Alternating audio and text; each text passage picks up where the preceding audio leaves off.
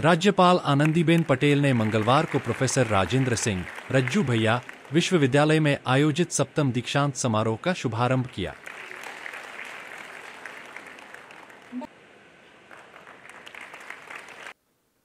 उन्होंने प्राथमिक विद्यालय के बच्चों को स्कूल बैग एवं अन्य उपहार सामग्री का वितरण किया तथा आंगनबाड़ी केंद्रों की कार्यकर्तियों को खेल का सामान व आंगनबाड़ी किट प्रदान किया। राज्यपाल ने विभिन्न विद्यालयों में कराई गई प्रतियोगिताओं में उत्कृष्ट प्रदर्शन करने वाले बच्चों को प्रशस्ति पत्र देकर सम्मानित किया। इसके साथ ही विभिन्न विद्यालयों में अच्छा कार्य करने वाले प्रधानाचार्यों को भी सम्मानित किया। इस अवसर पर दीक्षांत समारोह में एक सौ इक्यावन विद्यार्थियों को कुल 155 पदक तथा स्नातक, परास्नातक एवं व्यवसायिक के विभिन्न पाठ्यक्रमों के कुल एक लाख पंद्रह हज़ार आठ सौ सताइस छात्रों को उपाधियाँ दी गई। राज्यपाल ने कहा कि पदक प्राप्त करने में छात्राओं का प्रतिशत दोगुने से अधिक है, जो बेटियों द्वारा की जा रही मेहनत एवं दृढ़ इच्छा शक्ति को प्रदर्शित करता है। उन्होंने उपस्थित लोगों को संबोधित करते हुए कहा, प्रयागराज तथा संगम के पावन तट पर स्थित प्रोफेसर राजेंद्र सिंह, रज्जू भैया, विश्वविद्यालय के सप्तम दीक्षांत समारोह में आप सभी के मध्य उपस्थित होकर मुझे अपार प्रसन्नता का अनुभव हो रहा है। उन्होंने कहा कि बच्चों को संस्कार देने में माताओं का विशेष योगदान रहता है।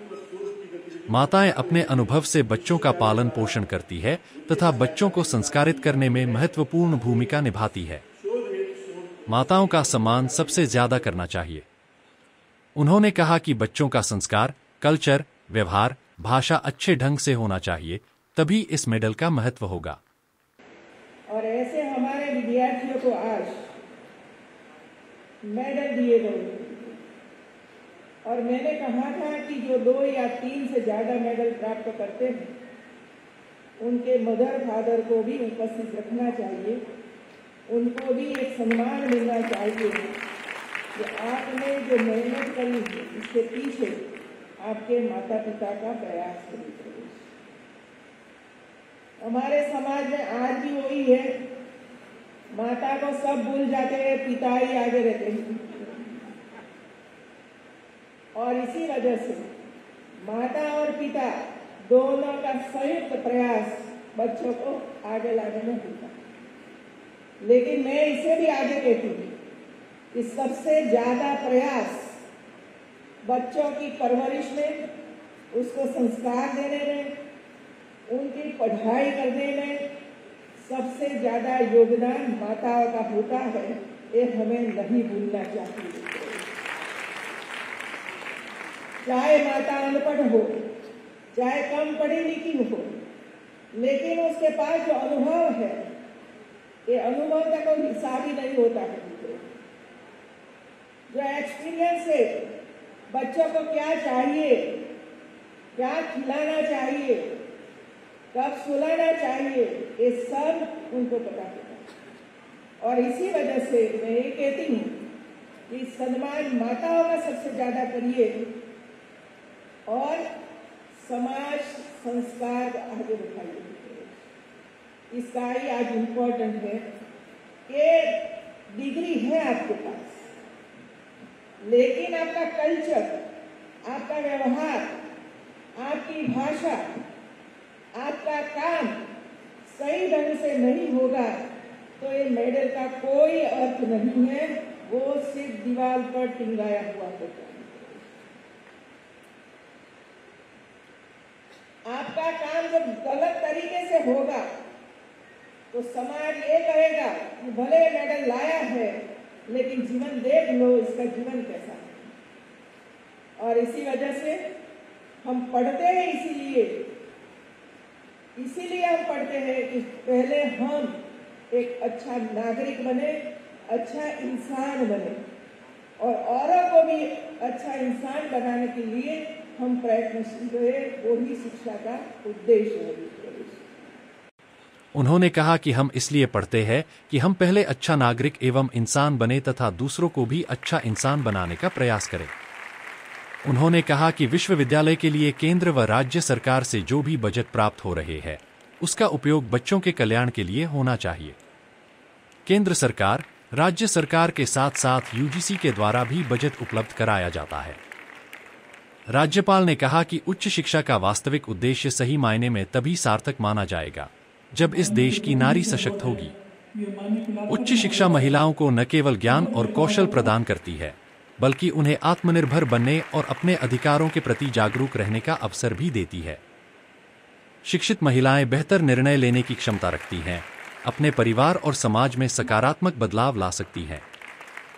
इस अवसर पर मुख्य अतिथि ए एस किरण कुमार ने कहा कि हमें रज्जू भैया की तरह धैर्यवान, जिम्मेदार, संवेदनशील व सबका सम्मान करने वाला व्यक्ति बनना चाहिए। उनके बताए मार्ग पर चलते हुए इस राष्ट्र को सर्वोपरि मानना होगा। हमारा सूत्र यह होना चाहिए कि हमारे लिए सबसे सर्वोपरि राष्ट्र, फिर समाज, फिर परिवार व व्यक्ति होना चाहिए। इस अवसर पर मंत्री, उच्च शिक्षा विभाग योगेंद्र उपाध्याय ने कहा कि इस विश्वविद्यालय से कौशाम्बी प्रतापगढ़ और फतेहपुर के कुल 780 महाविद्यालय संबद्ध हैं। वर्तमान में लगभग छह संकाय के अंतर्गत 27 विभाग संचालित हैं। उच्च शिक्षा के क्षेत्र में एक महत्वपूर्ण बदलाव करते हुए बहुप्रवेश व बहुविकास का अंकन किया गया है। इसमें सबसे अच्छी बात है, यह है कि संस्थाओं की गुणवत्ता, आधार पर ऑटोनॉमिक की व्यवस्था की गई है। उपनिषदों में तपोभूमि की सर्वत्र प्रशंसा की गई है। यह विश्व का एक अनुभव एवं अद्भुत स्थल है। यहाँ पर गंगा, यमुना तथा सरस्वती जैसे पवित्र नदियों का समागम हुआ है। यह गौरव की बात है कि इस विश्वविद्यालय का नामकरण भी एक ऐसे महान मनीषी, प्रख्यात चिंतक और समाज सेवी के नाम पर रखा गया है, जिन्होंने अपना संपूर्ण जीवन समाज तथा राष्ट्र के नाम समर्पित कर दिया भारत माँ के चरणों में जिन्होंने अपना तन मन धन समर्पित किया तेरा वैभव, अमर रहे माँ, हम चार रहे ना रहे, ये पंक्तियाँ उनके जीवन के आदर्श ही नहीं चिंतार्थ उन्होंने किया। मन समर्पित, तन समर्पित और ये जीवन समर्पित। चाहता हूँ मात्र भूल मैं तुझे कुछ और भी इन आदर्श वाक्य को उन्होंने अपने जीवन में उतारा था। इस अवसर पर राज्य मंत्री उच्च शिक्षा रजनी तिवारी ने कहा कि, रज्जू भैया, विश्वविद्यालय के सातवें दीक्षांत समारोह में सम्मिलित होकर मुझे हर्ष की अनुभूति को रही है। उन्होंने कहा कि नेल्सन मंडेला ने कहा है कि शिक्षा एक ऐसा हथियार है, जो दुनिया बदलने की शक्ति रखता है।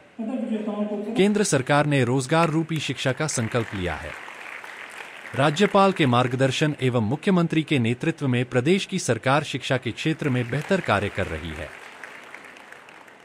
नई शिक्षा नीति 2020 रोज़गार परक है, जिसमें कौशल विकास से लेकर प्रौद्योगिकी, तकनीकी ज्ञान को शामिल किया गया है, जिसके अंतर्गत पठन पाठन के कार्य में विशेष बदलाव हुआ है। उन्होंने कहा कि मुझे पूर्ण विश्वास है कि नई शिक्षा नीति के क्रियान्वयन से प्रदेश के अधिक से अधिक युवाओं को रोज़गार मिलेगा। सदस्यों की सराहना ज्ञान, निर्माण और आपकी सोच और देने के लिए गुणवत्तापूर्ण शिक्षा प्रदान करने के लिए कड़ी मेहनत की है। नेल्सन मंडेला ने कहा था हथियार है, जो दुनिया बदलने की शक्ति रखता है। केंद्र सरकार ने भी रोज़गार मुखी शिक्षा पर विशेष ध्यान देने का संकल्प लिया हुआ है। आज मैडम के मार्गदर्शन में, योगी जी के नेतृत्व में उत्तर प्रदेश की सरकार आपके लिए बेहतर कार्य कर रही है। भाइयों बहनों नई शिक्षा नीति 2020 रोज़गार परक है। जिसमें कौशल विकास से लेकर प्रौद्योगिकी एवं तकनीक ज्ञान को शामिल किया गया है। पठन पाठन की पद्धति में विशेषकर काफ़ी बदलाव आया है। मुझे भरोसा है कि राष्ट्रीय शिक्षा नीति 2020 के क्रियान्वयन से प्रदेश के अधिक से अधिक युवाओं को रोज़गार मिलेगा। जीवन में आगे बढ़ने और सफलता प्राप्त करने के लिए बेहतर शिक्षा सभी के लिए बहुत आवश्यक है। या हमने आत्मविश्वास विकसित करने के साथ साथ हमारे व्यक्तित्व का निर्माण करने में भी सहायता करती है?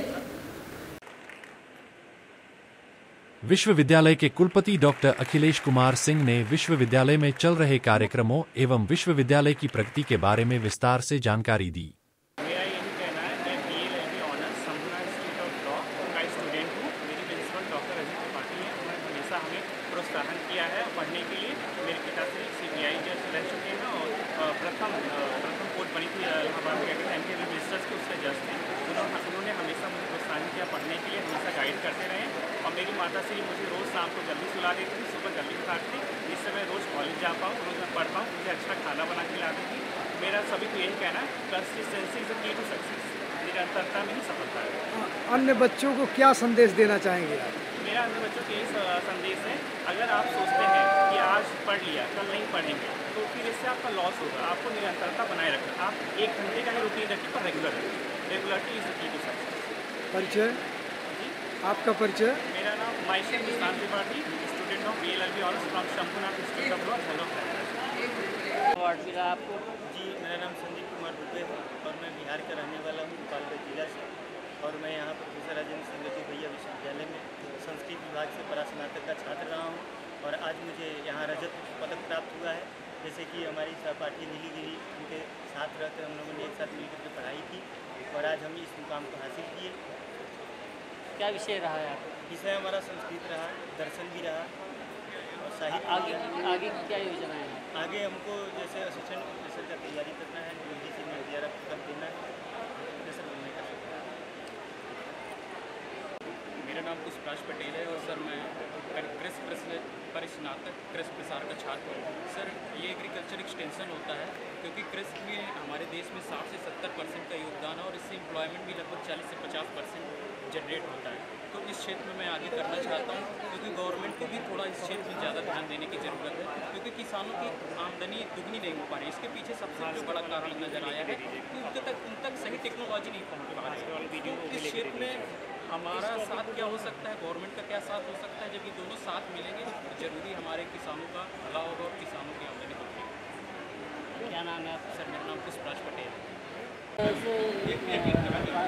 कर रहे तो क्या आपको मतलब क्या मिला है? आपको क्या उद्देश्य है आपका आगे का? सर आज मुझे बी एल एल में ऑनर्स में ब्रॉन्ज मेडल से ऑनरेबल बिज़नेस गवर्नर द्वारा सम्मानित किया गया है।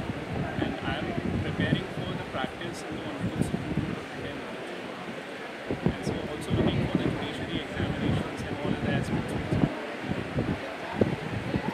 अन्य बच्चों को क्या संदेश देना चाहेंगे आप जो है?